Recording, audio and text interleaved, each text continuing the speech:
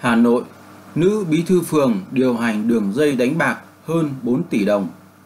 Cơ quan điều tra Công an quận Nam Từ Liêm, Hà Nội xác định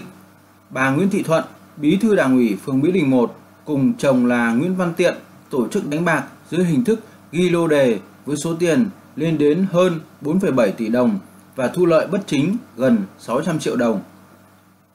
Nguồn tin của phóng viên cho hay, cơ quan cảnh sát điều tra công an quận Nam Từ Liêm, Hà Nội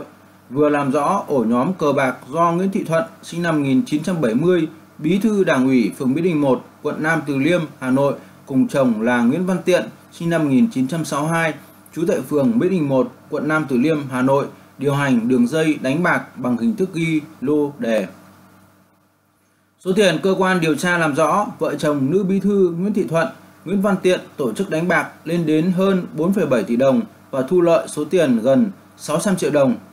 Liên quan đến đường dây tổ chức đánh bạc này còn có đối tượng Bùi Thị Hoa sinh năm 1970, nghề nghiệp tự do, trú tại phường Mỹ Đình 1, quận Nam Từ Liêm, Hà Nội. Số tiền Hoa tham gia tổ chức đánh bạc là hơn 4,7 tỷ đồng và thu lợi hơn 72 triệu đồng. Một số đối tượng tham gia đường dây đánh bạc này đều bị xử phạt hành chính. Riêng con bạc Nguyễn Thị Hương Trung sinh năm 1978, lao động tự do, trú tại phường Mỹ Đình 1, quận Nam Từ Liêm, Hà Nội. Cơ quan điều tra xác định số tiền đánh bạc của Trung lên đến hơn 11 triệu đồng nên chuyển hồ sơ sang Viện Kiểm soát Nhân dân quận Nam Từ Liêm đề nghị truy tố. Theo cơ quan cảnh sát điều tra trước đó, đội cảnh sát điều tra thành phố về trật tự xã hội công an quận Nam Từ Liêm, Hà Nội bắt quả tang Bùi Thị Hoa đang có hành vi bán số lô đề cho Vũ Xuân Toản, Bùi Thị Minh, Hà Văn Hưng. Khi Hoa vừa giao tích kê ghi số lô đề cho các đối tượng nêu trên thì cơ quan cảnh sát điều tra ập vào. Sau đó, cơ quan cảnh sát điều tra làm rõ đối tượng điều hành đường dây đánh bạc dưới hình thức ghi số lô đề này là vợ chồng nữ bí thư đảng ủy phường Mỹ Đình 1 Nguyễn Thị Thuận và Nguyễn Văn Tiện. Khi cơ quan cảnh sát điều tra tiến hành khởi tố vụ án, khởi tố bị can thì nữ bí thư đảng ủy phường đã lấy lý do chữa bệnh trong viện, sau đó tìm sơ hở và bỏ trốn. Sau đó, cơ quan cảnh sát điều tra công an quận Nam Từ Liêm đã phát lệnh truy nã vào ngày 2 tháng 8, Nguyễn Thị Thuận đã bị bắt giữ.